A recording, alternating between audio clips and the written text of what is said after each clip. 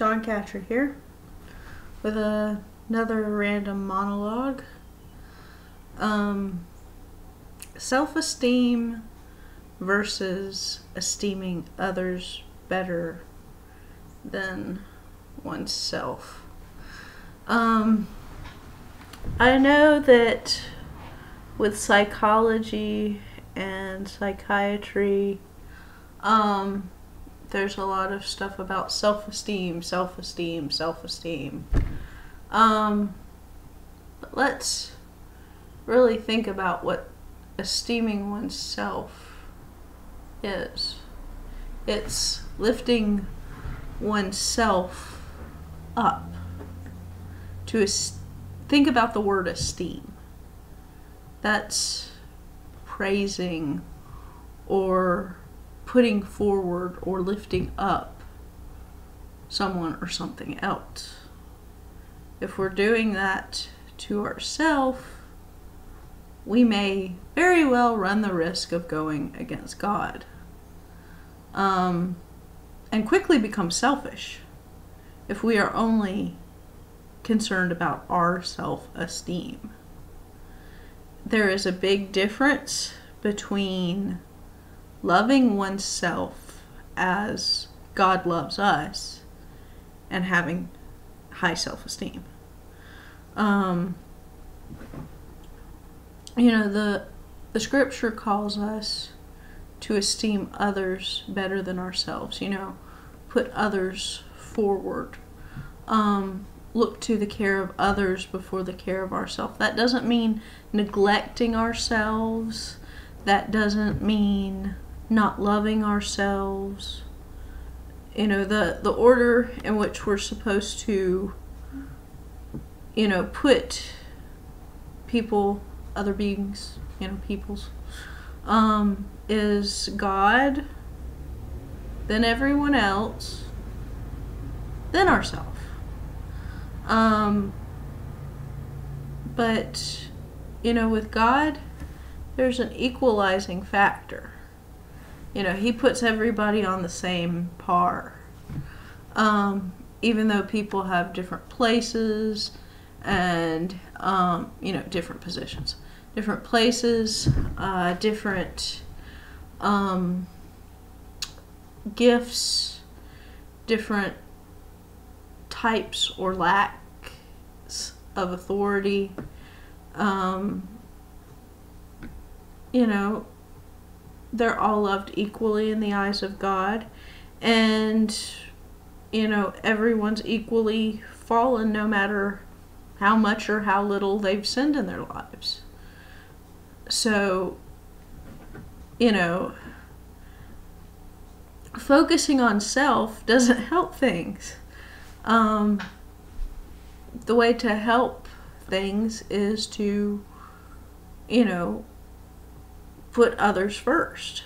You know, firstly God and you know everything that he's about, you know, love, joy, peace, um, goodness, gentleness, meekness, long suffering, forbearance, mercy, grace, um, godly jealousy, which is a loving, protective jealousy, like, you know, like fathers and brothers and mothers and sisters have over their family members if, you know, they're wanting to spend time with or be influenced by someone that's going to hurt them. Um, you know, he's a God of justice. And it's righteous, it's pure. He's holy, um, you know, sanctified unto all things good. He is the source from whence all blessings flow, and He is good. So, um, you know, that's why He's supposed to be put first because He gives everybody, He puts everybody else first. So, you know, He he who made all of us was willing to die for all of us. That tells you how much he loves us and how much he puts us first. Um, yeah, that's a big deal. Um, and you know, then other people. You know, we're called to, you know, love our neighbors as ourselves, and we're called to love others as God loves us. Yeah, that's a big deal. And, um, you know, to love our enemies. You know, they're included in others. And at times they're included in neighbors. Um, most of the time they are. Um, you know, the only way for a, an enemy to become a friend or a brother is to love them. And that's esteeming them better than ourselves. To, to love someone when and treat someone better when they're not treating us good, that's esteeming others better than ourselves. But as far as, you know, how we treat ourselves and how we look at ourselves, you know, self esteem is just selfishness. But when we love ourselves as God loves us, rather than just praising ourselves and lifting ourselves up and being haughty, you know, the Bible speaks against that. Um, you know, when we love ourselves as God loves us, you don't need to esteem yourself. Um, because love's a lot better than that. You know, love cares, love nurtures, love strengthens, love feeds and helps to grow and helps to blossom. So when we we look at ourselves the way God does, you know, you know, to us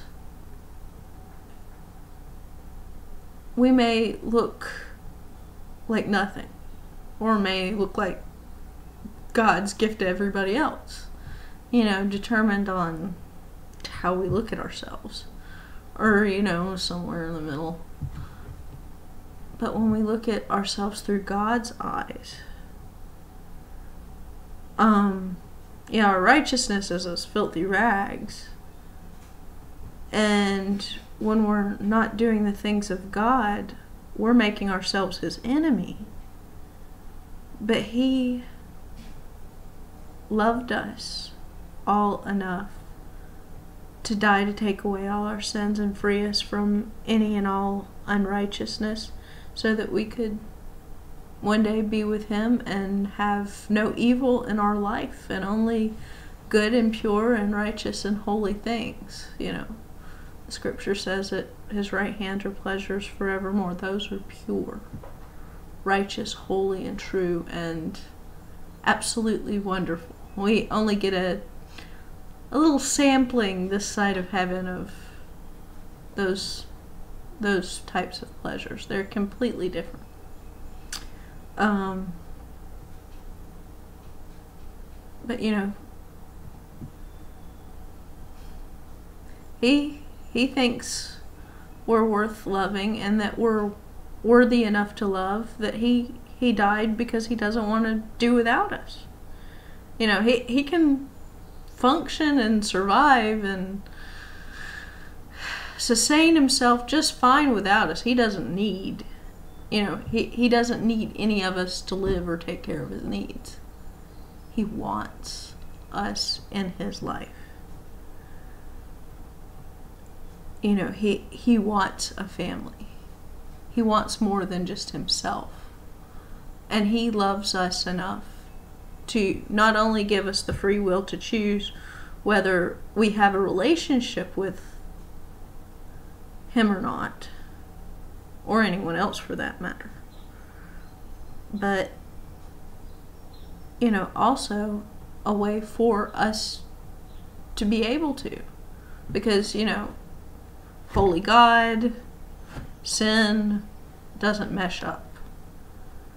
Anything sinful gets near it, gets destroyed. Not because God is like bam, bam, bam, bam with hammers and lightning bolts and mallets and floodwaters and all sorts of other stuff. No, um, it's because his all consuming fire and destroys anything that is not of him, which is sickness and sin. Um, you know, things that are not of him, they they just go to nothing. Um, they they destroy themselves or it selves, however you want to put it. Um, you know, he made a way for us. Um, he loves us that much. And if we love others that way, that's a big deal. Um, but to love ourselves that way, that is really, really, really hard. But self esteem doesn't get you anywhere at all, except hurting yourself and hurting others. Um, because you're only looking at what is good for yourself and not paying attention to what is good for others. And yes, if everyone looked out for everyone else first, then, you know, there wouldn't be a problem with any of this. But since there are people that really only care about themselves, I don't understand that. They can be freed of it. They're they're loved. Um yeah, I don't understand that. Um then there there are people that aren't going to be willing to you know put others first unless it gets them what they want. But that's still being selfish. Um, yeah um, so what do you guys think? Self-esteem or esteeming others better than ourselves? Think about how you treat yourself and how you think of yourself. And then think of whether you want to treat others that way or not. Or would want others to treat you that way. And then, you know, those of you that know God and those of you that want to know God, whether you realize it or not, um, you know, think of how God treats you. He's everything good. Um, if you want to find him, you'll find him. Uh, yeah, that's about it. Um, you know, I'm still learning how to love myself like God loves me. Um, loving others is a lot easier than loving myself because with everything that's happened in my life and how others have treated me it's it's hard for me to love myself but when i think of how god loves me and all that god has done is doing and plans on doing out of love for me it helps me to see that i, I do have worth and that I do have value. And, you know, He is making me worthy of love and of the blessings that He's given me. I'm not of myself. You know, I didn't do anything. Um, all the good that comes out of me comes from Him. Plain and simple. Any good you see in me comes from Him. I love Him. Without a doubt. Because He loved me first. Um, so, yeah. Uh, I'll be praying for all of you guys, and I love all of you guys, whether I know you're not, and yes, I'm praying for you, whether I know you're not. Um, and the Lord bless you and keep you, and may his face smile upon you. Dawn Catcher out.